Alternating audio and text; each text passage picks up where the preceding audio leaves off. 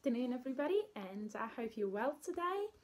Um, I'd like to talk to you about stress and anxiety today and uh, hopefully give you some useful tips that uh, will help you keep it under control.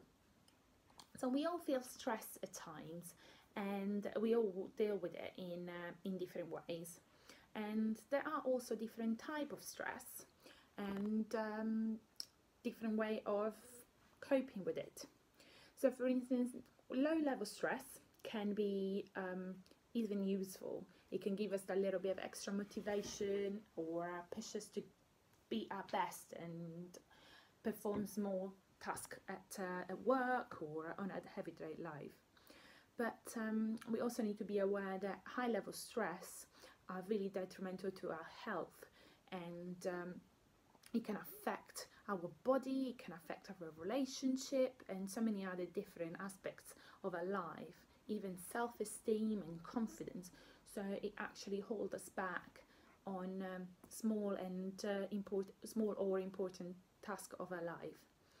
Um, so during this particular time, lots of us are feeling stressed and overwhelmed, and uh, probably even more than usual but it's also everyday routine that we used to have you know before the pandemic like uh, commuting to work dealing with deadlines and just like so many other aspects of the life like dropping the kids to school and uh, be healthy and uh, keep on track of a training routine whatever it may be. So all these all these factors can then accumulate over time and affect our well-being because they accumulate levels of stress on our body.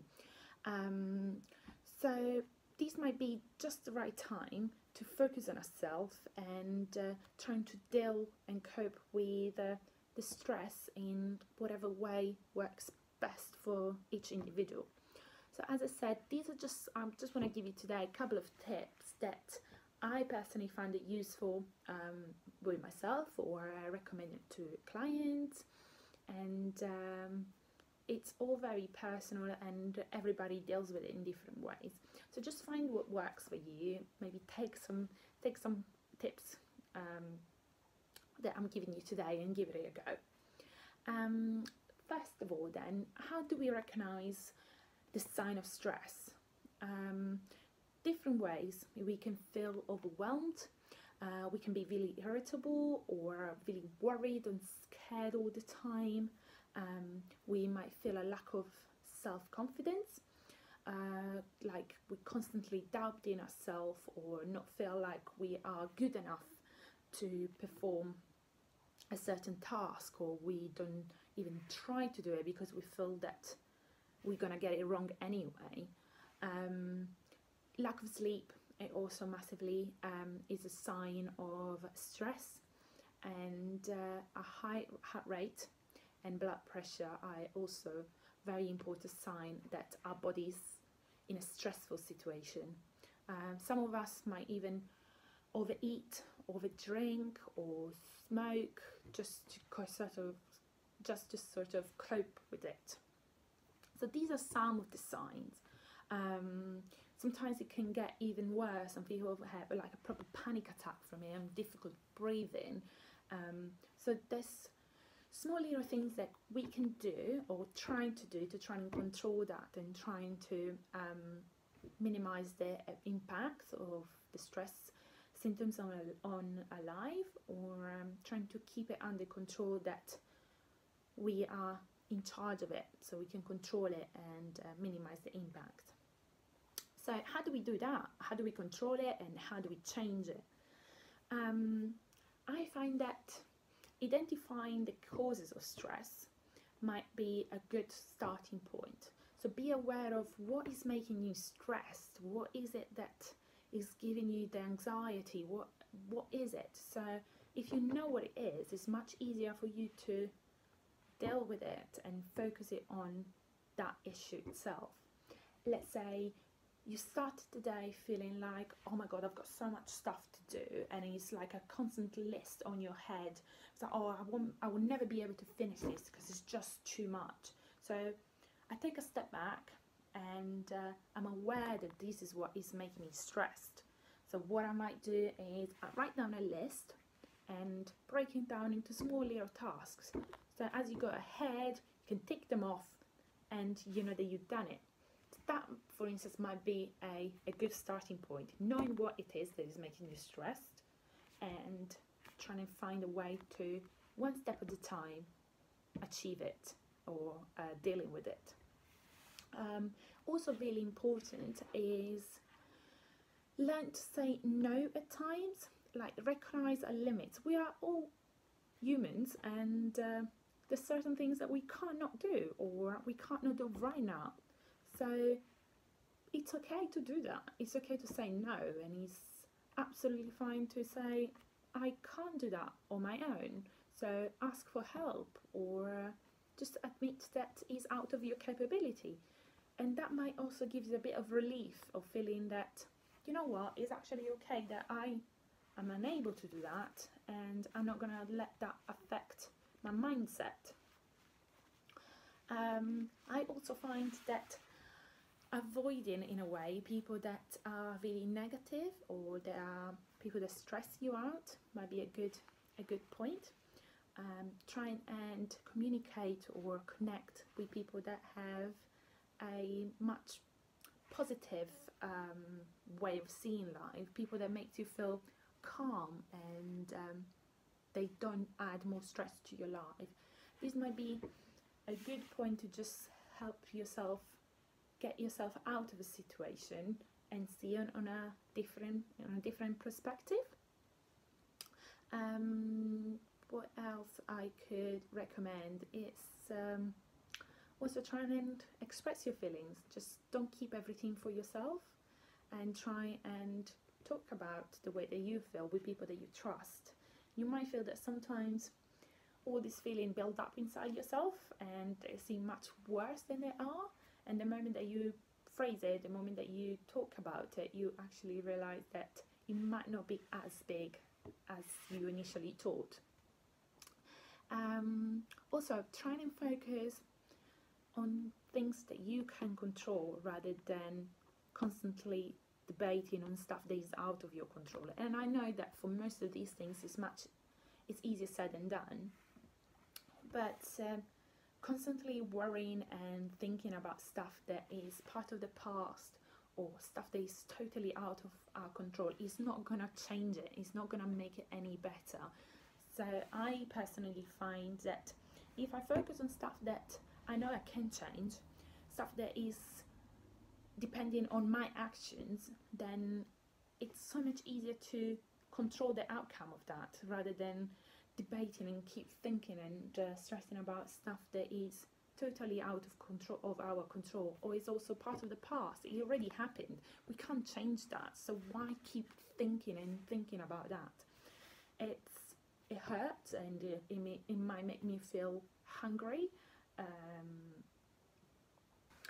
I also think that a very important way to cope and deal with stress is finding yourself a hobby, something that distracts you, something that makes you feel good, something that gets your mind away from what worries you every day. Um, so again, like whatever whatever you enjoy doing, reading, cooking, um, colouring, listen to music, um, have a nice and chilled bath, or um, I don't know, maybe even try meditation. And there's so many guides on YouTube on how to start meditating, and um, some people also enjoy yoga as a relaxing and meditating exercise. And there's also some uh, very important exercises that you can do for your breathing, like box breathing, box breathing.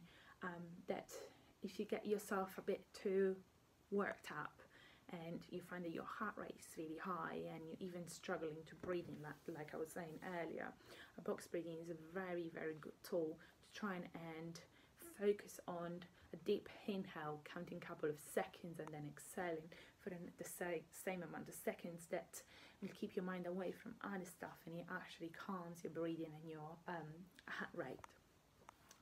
Um, so again, these are just suggestions of what I personally like doing when uh, things get a bit too much and I need to just switch off from you know worries or work or um, you know problems, whatever it may be. Um, and you just need to try and find what works for you and uh, dedicate a bit of time each day to do something that you enjoy, something that um, makes you feel good. Some people even enjoy exercise, find exercise a very good um, stress release, a really good time to switch off. You obviously need to be in the right frame of mind, but start with something small, with something um, easy and achievable that you don't feel like you've failed, um, and feel that moving and exercising, getting some fresh air, getting some sunshine will actually boost your mood and make you see things in a different way. Um, so as I said, this is a couple of tips that I personally found helpful, um, but you might come up with other ideas that uh, for you are synonymous synonym of uh, chilling. So try them out and see what works for you. Um, so the other big question is why is it important to manage stress? Why do we need to do something about it? It's because stress it has a huge, huge impact on our health. As I said, it increase our heart rate and increase our blood pressure. That is not a healthy way of um, being, a healthy way of um, living life. And it affects our sleep, it affects our hormones, um, increase our cortisol level. It just puts our body into a very um, into a fight position. Um, so it's not ideal to be in that position. It has so much effect on so many different parts of our health. Um, some people might even find it very hard to lose weight, no matter how good they eat or um, how much they exercise, because the level of stress and the level of cortisol in your body is just too high that no matter what you do, your body won't be able to give you the results that you want. So it's often under underseen, um, but the stress level and our anxiety has a massive impact on all of this.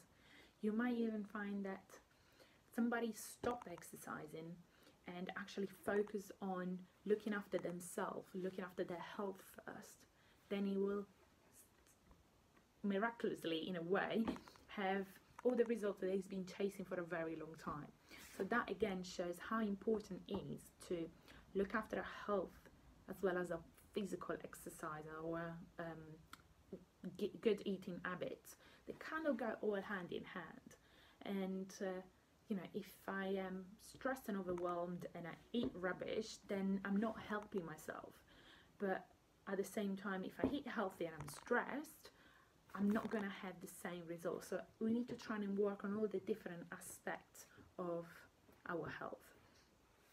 And uh, um, it also affect massively our way of thinking and making good decisions. So that's why it's really important to recognize what is making us stress, deal with it, trying to find a way to deal with it, seek help if you really can't cope by yourself there's nothing wrong with admitting that we are in a vulnerable position.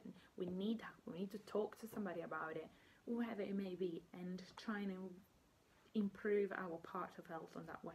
You'll find that you live better, you'll think better, um, you can sleep better, and your body will thank you for it. Um, yes, so I really hope that this um, helped and uh, that you guys are coping well in a way during this time and uh, don't forget to use this moment of self-isolation and uh, the way that there's not many distraction from other aspects of life to focus on yourself to work on improving all the different aspects of your health. As i said exercise nutrition stress management you will be thankful for doing that because when everything will go back to normal you'll have a much better approach of life and you'll be able to succeed great so that's all for me and please feel free to add any comment below and any question that you might have and I'll be more than happy to help you out Okay, guys, well, see you soon. Take care and uh, look after yourself. Bye.